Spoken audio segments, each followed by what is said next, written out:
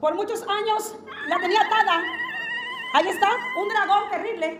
Oi, você vai ver agora uma mulher possuída pelo espírito do dragão. Os dragões foi descrito por várias civilizações antigas espalhadas pelo mundo, as quais não tinham nenhuma conexão entre si.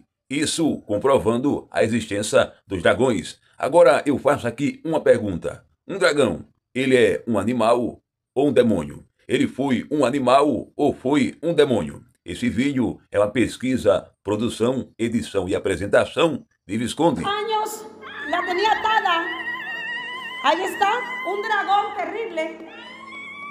Un dragón, eso la venía haciendo caer ella en derrota, en fracasos y sufrimientos.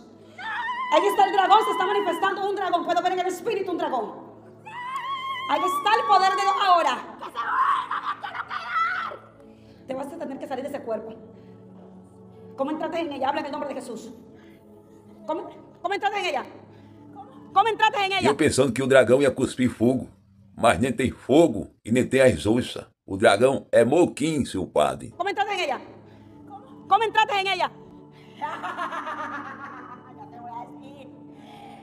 Habla en el nombre de Jesús. Habla en el nombre de Jesucristo.